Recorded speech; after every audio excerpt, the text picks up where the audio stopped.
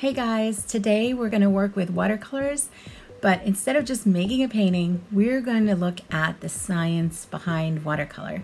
Ready? Go get your watercolor set. The first thing we're going to learn today is what happens to watercolor paint when it touches wet paper versus dry paper. We have here a piece of paper. This is called a watercolor paper we are going to wet the paper up here on top with water. And we're going to leave area down here dry. And we're going to see what happens when you add color. Now my colors right now are asleep so I need to bring water and drip water into the color. And then I'm going to stir. And now the water and the color are being mixed. And the color is woken up. Now I'm gonna paint with this on a wet piece of paper and the color spreads. I'm gonna do the same thing down here and notice the color is very contained where I painted it and it doesn't go anywhere else. Next, we're gonna learn about the brush size and pressure and how they help us make the marks that we want to make on our paintings. Next, I want you to notice these are all watercolor brushes and they have numbers on the sides. The numbers correspond to how thick the barrel of holding all the hairs are. Now, obviously, the number six looks like will make um, the brushes much, much thicker. And here, these are go from six, five, four, three, two, one, then zero. Then there's a double zero and a triple zero. So let's compare six and triple zero. Obviously, these two brushes are gonna make very different marks. Let's try them. And I'm going to make a line using lots of pressure. And now I'm gonna use the triple zero brush to do the same thing. I'm gonna use a lot of pressure to make a line. And obviously the line is much thinner. Um, now I'm going to purposely use the same brush and use it with very little pressure. I'm going to use triple zero brush and use very little pressure. So it's a slightly bit thinner. And then I'm going to use the uh, number six brush and also use very little pressure. Make another line, there we go. So the wonderful thing about pressure is that you can um, manipulate how thick the lines are in your painting by using and adjusting your pressure. So here I can make a super thick line by pressing really hard on my brush. And the same brush can make a super thin line, almost like a triple zero brush. So here's that same brush with very little pressure. This is number six. Amazing. All right, so pressure has a lot of importance in watercolor painting. Watercolors are not that forgiving. If you make a mistake with watercolors, it's almost impossible to erase them. This is not the case with other kinds of paints, where you can easily just paint over the paper and then come back later and paint over it, and no one will ever know.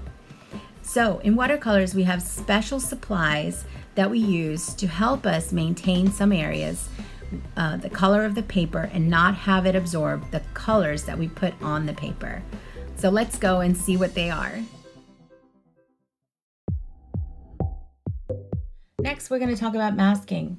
These are uh, different supplies you might use to, to help you um, block off an area of your painting that you don't want to absorb the paint. we're gonna try them all out today. Let's go. Okay. The um, the rubber cement is comes with a really thick brush of its own that's already inside. And we're gonna paint it on and onto the paper. And this one requires time to dry. So we're gonna let it dry. Then we're gonna use a crayon to mark up part of this paper. See what happens. And last, we're gonna use the art masking fluid. And this one doesn't come with a brush and it comes with a child safety cap. I would not use your nice brushes on here because it's really hard for that uh, masking fluid to be washed out of your brush. But we're gonna try it right now. We're gonna put our brush in there and we're gonna um, put some masking fluid in a snaky formation and we're gonna wait. So all of these require us to wait just a little bit. There we go. Okay, so we're back. It's dry. And now what we're gonna do is we're gonna paint over it.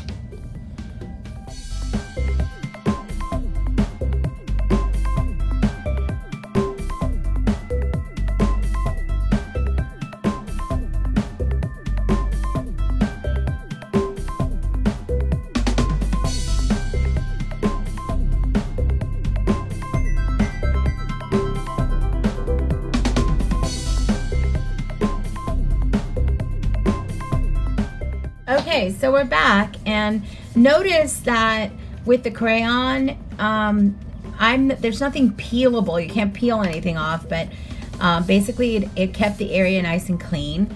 Um, with the masking fluid, it's meant for you to rub it off. So it's like this little rubber piece that comes off and, it's stringy. And it actually is a really nice and clean look versus the crayon.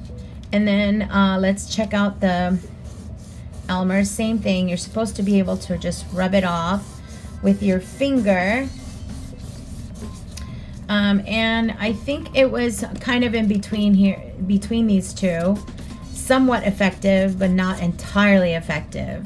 Um, so I, I really like the masking fluid. So if you're able to use a brush and, um, you know, maybe not use your really good brush for it, you can use it, but it will give you a better result. And here is a perfect example why you might want to use masking fluid um, or block off some areas that won't take color. So what I did is before I started this painting, I went ahead and um, used the masking fluid over here for the moon. And then I wanted the reflection of the moon in the water. So I went ahead and put masking fluid here as well. So when I was done with the painting, all I did was pull out the masking fluid. And now I have these areas that are nice and empty and, and, and devoid of color. I have another example here where I wanted it to look like it was snowing. So before I started my painting, I went ahead and put some dots all around and um, and then I wanted the top of the mountain to be white as well. So I went ahead and, and put the masking fluid there. I did the entire painting and once it dried, I went ahead and peeled off uh, the parts that um, had the masking fluid. Did you know that you can mix colors to make new colors? Let's go. Next, I'm gonna mix colors and make new colors. When we mix red and yellow, let's see what happens. I'm first going to wet the paper and I'm going to add a red over here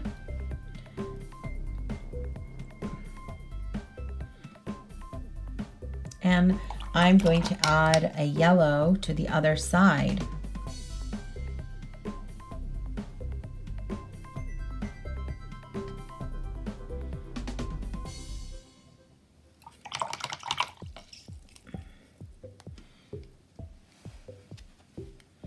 And the color in between is a new color. Now let's go to the next color. I'm gonna, I'm sorry, I'm gonna wet the paper. And I'm going to add blue on one side and yellow on the other. And when they get together, they will make a new color. Trying to have it mix naturally. My table must be a little bit slanted. There. So mix those two colors together and in between you have a new color. Now let's try our last mix of primary colors is blue and red. Let's wet the paper so that the colors will mix together. Blue on one side. Perfect. And we're gonna put red on the other side. And then we're gonna bring them together in the center.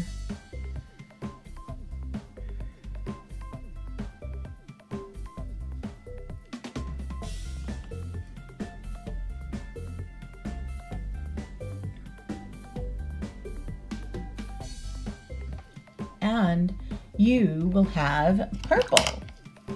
Um, with my purple, I usually add a little light in there so that you can see the purple. Um, I'm gonna keep mixing it because I really want it to be purplish.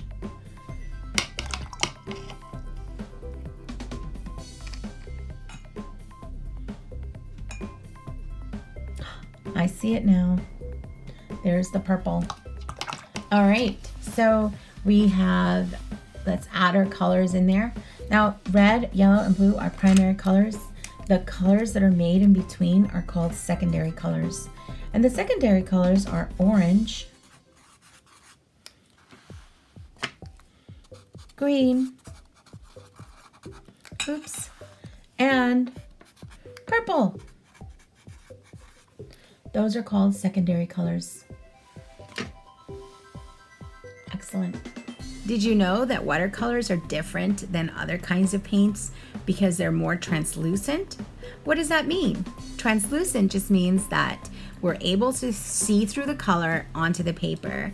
And but there's ways to get around that. And that is by layering. If you layer your watercolors, you are going to make the colors more and more opaque.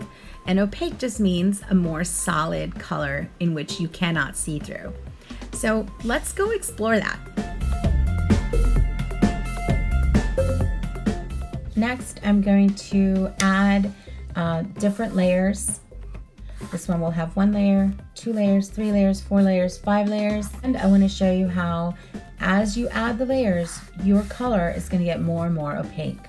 And a really easy way to remember opaque is just um, that it's more and more solid and the fewer layers it has, the more and more translucent it will be.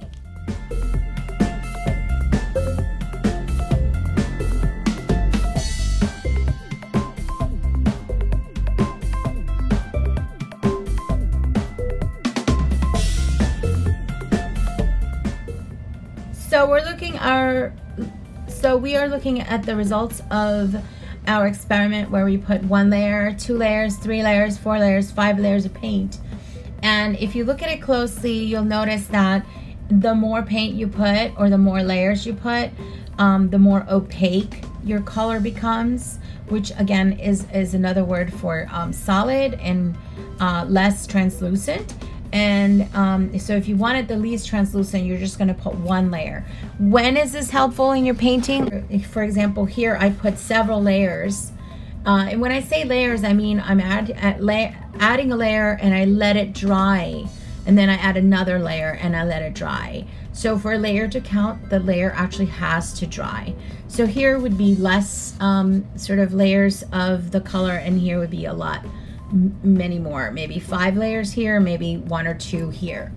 Um, so those are helpful to know when you're making your own painting. Hey guys, my hope is that this video, The Science of Watercolors, has helped you figure out how you can use this wonderful tool to express yourselves better. Have fun!